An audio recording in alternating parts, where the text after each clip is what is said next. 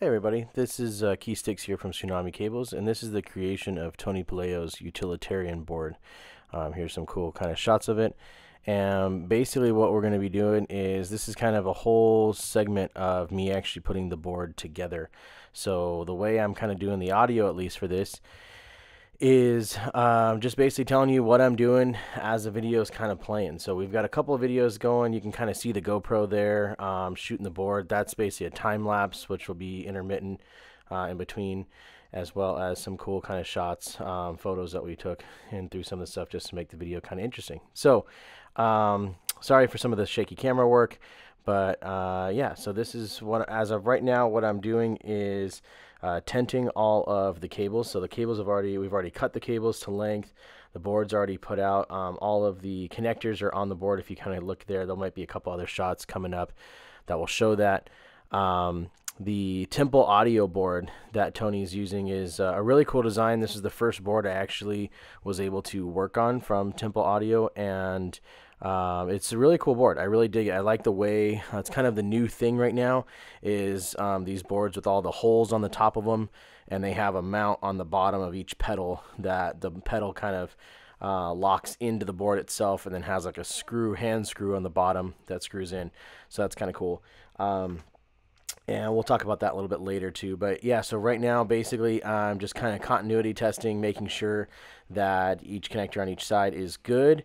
Um, and typically, uh, there's a lot of back and forth between checking on one side of the uh, cable to the other, as well as putting in the um, the cables back and forth onto the board. You'll see me do it a couple of times and get the cables on the board make sure the length is correct, all that kind of stuff. Here's kind of a cool little black and white shot of some of the stuff we were doing. Um, some of the cables getting ready. And um, so typically I will do all of the cables on one side, continuity test and everything, um, and then heat shrink and get those, that one side of the cable all locked in, and then start doing the other side, especially for the small six inch cables.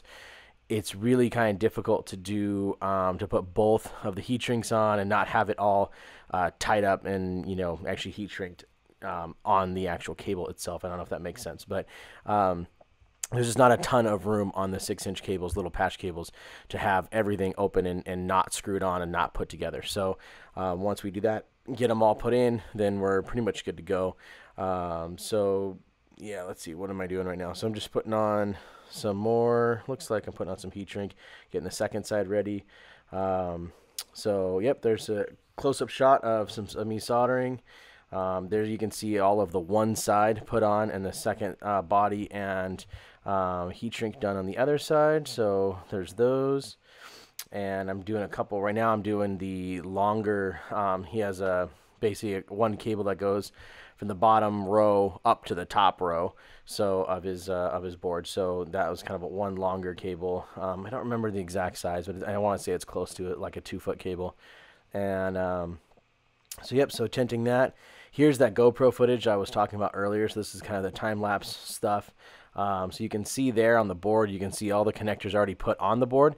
And that's just basically so I can kind of map out the direction of where everything's going and the cable length and all that kind of stuff. So normally I do that just to kind of put everything into place, know where everything's at kind of ahead of time. Um, and then you'll see me kind of lifting some of the pedals up and down or the board up and down and pulling some of the pedals off. Um, that's due to the, like, like just like that. That's due to the hand screw underneath. So the pedals as of right now won't come off the board. Um, you have to undo the screw for it to come off. So, um, but yeah, so that's that at least. Try to see kind of where we're at. So right now, yep, I'm just putting the cables together, doing all that good stuff. Um, and let's see here.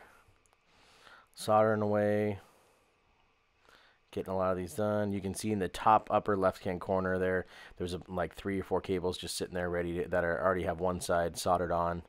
Um, go through and Here's kind of the next shot. So right there, it was kind of quick, but I was basically continuity testing and resistant testing um, all the cables that I've already done and got both sides on. So we do that obviously before we do the heat shrink to make sure that they're good cables and everything's good, and then do the heat shrink. Here's I am doing the heat shrink on the last uh, on the the bodies of the uh, with our name and all that kind of stuff on it. So getting those all tied up and done.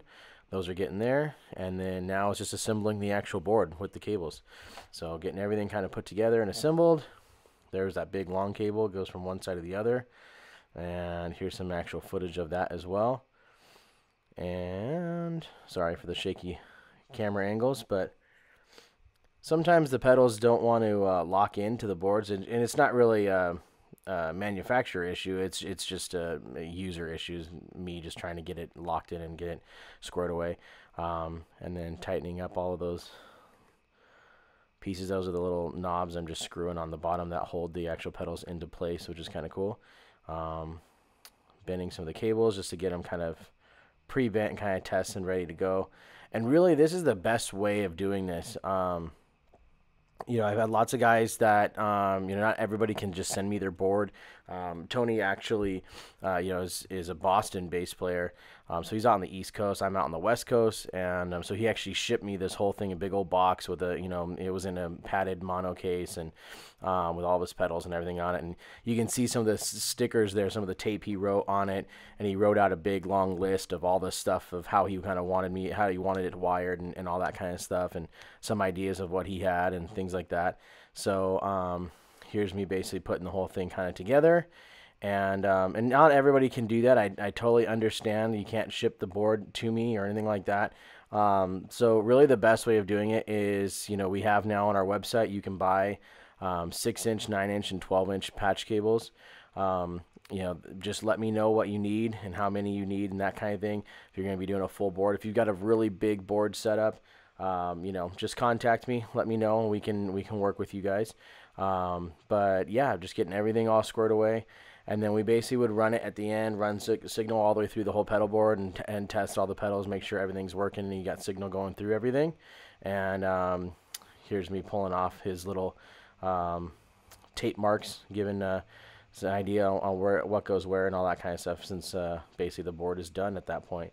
So yeah, so this is pretty much it. Um, last cable looks like, and I'm getting that figured out, and then. Um, yeah, so um, let's see what else. I want to thank Tony uh, Puleo for uh, for sending me his board and um, doing all of that. And it's a lot of fun to do it. I believe we're doing be doing two or three other boards of his, which is kind of crazy and cool. So um, look forward to that. And I want to thank uh, Temple Audio for making the killer boards that they do. And then plus all the companies here that uh, you can see. Here's all the photos of the individual patch cables and all that good stuff. So Thank you so much for watching the video and hope you guys enjoyed it.